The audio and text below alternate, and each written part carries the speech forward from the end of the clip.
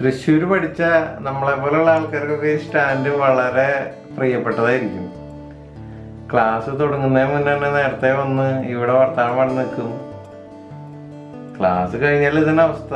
എല്ലാ കൂട്ടുകാരും ബസ് കയറ്റി വിട്ട് അവസാനത്തെ ബസ്സിൽ നമ്മൾ പോകുള്ളൂ അങ്ങനെയൊക്കെയുള്ളൊരു കാലം.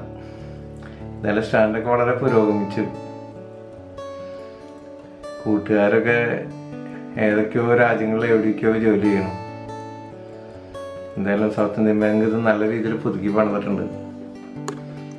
Thank you very much